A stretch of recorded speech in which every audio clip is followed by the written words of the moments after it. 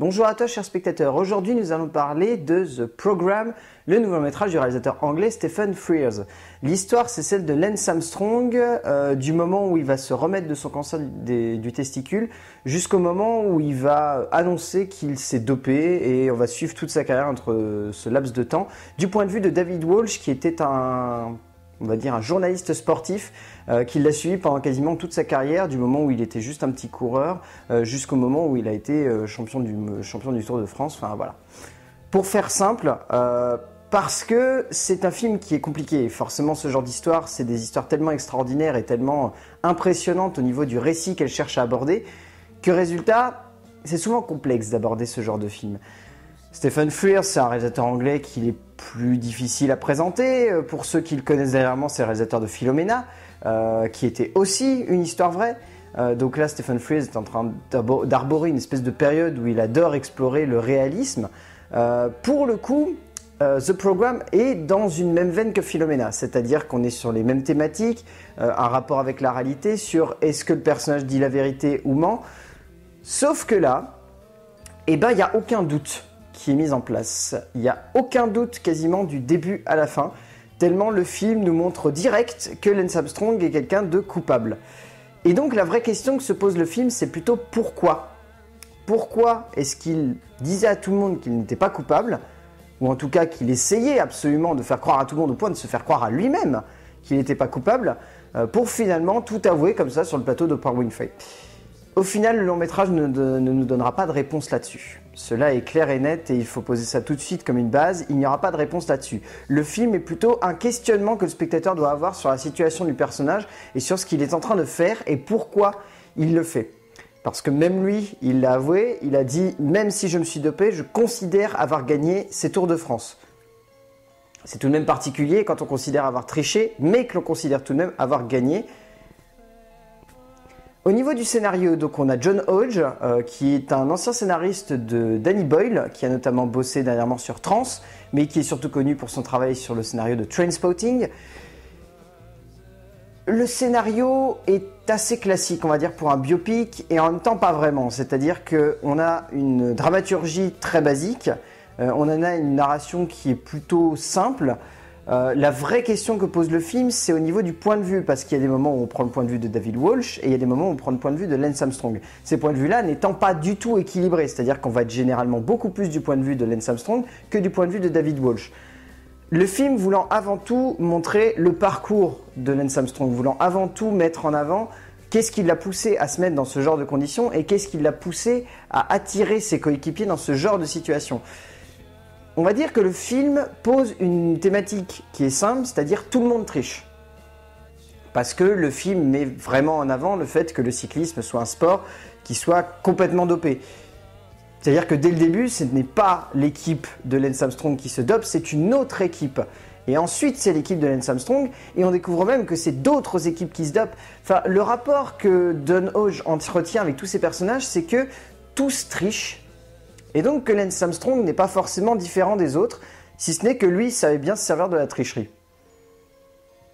C'est étrange comme thématique, mais c'est plutôt bien abordé de la part de, Hodge, qui arrive grâce à cela à faire en sorte de rendre intéressant un personnage qui devrait être antipathique. On ne devrait pas du tout apprécier le personnage de Lance Armstrong, on devrait au contraire le détester.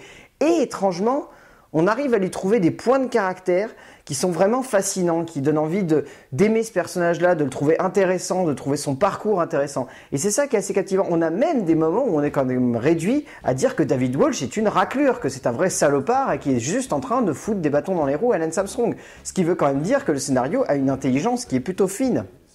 Au-delà de ça, voilà, il y a ce problème que ça répond à aucune des questions qu'on avait vraiment envie de se poser, c'est-à-dire pourquoi est-ce qu'il a fait ça? La seule réponse qu'on a, c'est un carton de fin qui nous dit simplement que Lance Armstrong considère que même s'il s'est dopé, donc il a gagné quand même.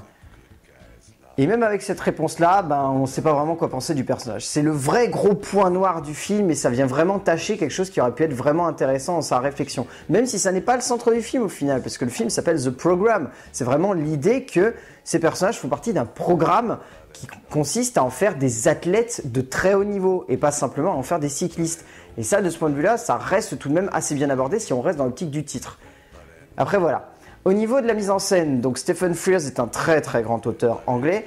Là, avec ce film, il fait un film très simple et en même temps un film qui est très esthétique. C'est-à-dire qu'il y a un joli travail du cadre, il y a un joli travail de la mise en scène, il y a un joli travail euh, du jeu entre les personnages. Parce que ce qui est très bien fait de la part de Frears, c'est qu'il veut montrer que tous les personnages sont impliqués, peu importe ce qui se passe. Et il a trouvé une très très bonne idée pour faire ça. Il fait des plans à double focale, c'est-à-dire que dans un plan, normalement, la mise au point est faite sur un seul endroit. Euh, par exemple, imaginons, il va y avoir un cadre où moi je suis un personnage et il y a un autre personnage qui se trouve là. Le personnage qui se trouve là va être flou parce qu'il va être très en avant de la caméra. Et donc moi je vais être net. Et bien Frears après il va faire en sorte que moi je sois net et que l'autre personnage aussi soit net. Ce qui montre l'implication de tout le monde, c'est-à-dire que peu importe la situation, peu importe ce qui se passe, peu importe le rapport entre les personnages, tout le monde est impliqué et tout le monde est au même niveau, même Walsh. Et ça, de ce point de vue-là, c'est très intelligent parce que Frears arrive à mêler, on va dire, quelque chose de cathartique avec quelque chose de vraiment égocentrique. On se retrouve vraiment à penser à soi, enfin, au personnage seul, plutôt qu'à un groupe. Et de ce point de vue-là, ça, fait vraiment ressortir ce qu'était l'équipe d'Anne Armstrong, c'est-à-dire que c'était un groupe de personnages qui pensaient uniquement aux meneurs et pas à eux. C'est une thématique qui est intéressante et qui est très bien abordée de la part du réalisateur anglais et ça permet d'avoir des petites réflexions comme ça de temps en temps et c'est très intelligent de la part de ce cinéaste qui arrive résultat à renouveler son style. Il y a des très jolis cadres aussi qui sont complètement débulés à un degré comme ça où résultat, il arrive à filmer des cadres, mais que d'habitude on n'arriverait pas à avoir et qui sont super. Enfin, des très très bonnes idées de mise en scène de la part de Frères. C'est très surprenant. Après, voilà, ça reste assez classique, mais il arrive à donner un rythme et une dynamique à son récit qui sont tout de même vachement prenants. Au niveau du casting, alors, on retient surtout les deux acteurs principaux. Dans les rôles secondaires, une petite apparition de Dustin Hoffman et Denis Ménochet, qui est vraiment excellent aussi dans l'entraîneur. Et Guillaume Canet, Guillaume Canet cabotine à mort, mais ça passe. Mais il cabotine vraiment dans le rôle de, du médecin italien. un petit peu trop d'ailleurs. Mais surtout, le film euh, marche parce qu'il y a deux acteurs principaux vraiment excellents. Chris O'Dowd, qui comme David Walsh, qui est vraiment excellent. C'est un, très très grand acteur anglais qui malheureusement a tendance à être réduit à, beaucoup de rôles secondaires, mais il mérite beaucoup plus que ça. On l'a vu dans Good Morning England. Euh, enfin voilà, c'est un, c'est un acteur qui est vraiment superbe. C'est un acteur qui est vraiment classe et c'est un acteur qui dégage quelque chose directement face à la caméra. Et donc il y a Ben Foster. Ben Foster dans le rôle de Lance Armstrong. Physiquement, il lui ressemble, ça, il n'y a rien à en redire. Physiquement, il a la vraie gueule de Lance Armstrong. Au niveau du mental, il a vraiment réussi à travailler son personnage et ça rend vraiment bien. Il campe ce personnage avec beaucoup de force, avec beaucoup de justesse, avec beaucoup d'impériosité. Enfin, c'est vraiment impressionnant. Il, le vit, quoi, le personnage de Lance Armstrong, et on retient vraiment sa performance à la fin. Donc voilà, The Program est un film intéressant, pas dénué d'intérêt, qui peut-être est un petit peu classique, voire simpliste dans pas mal de ses thématiques et qui ne répond pas à la question fondamentale qu'aurait dû se poser ce récit, mais qui reste vraiment une œuvre fascinante pour le portrait du personnage qu'elle livre, pour les thématiques qu'il aborde et pour sa mise en scène et son acteur principal qui est vraiment exceptionnel. Donc voilà, The Program de Stephen Frears, allez le voir en salle, c'est intéressant et ça a, le, ça le mérite de soulever quand même quelques réponses euh, qu'on n'aurait pas forcément eu comme ça. À plus